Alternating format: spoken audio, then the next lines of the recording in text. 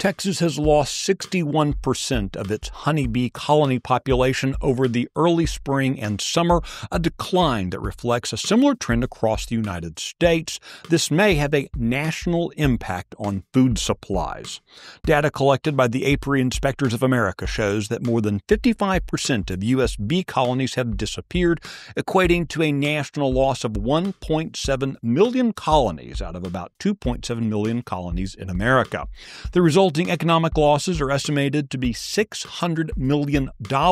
This is because many crops in the United States are heavily or completely dependent on honeybees for pollination. In Texas, honeybees pollinate crops all around the state, from cotton in the panhandle to food crops in the Rio Grande Valley. One cause is believed to be an invasive mite species from Asia that's developed a genetic resistance to the miticide used to treat hives.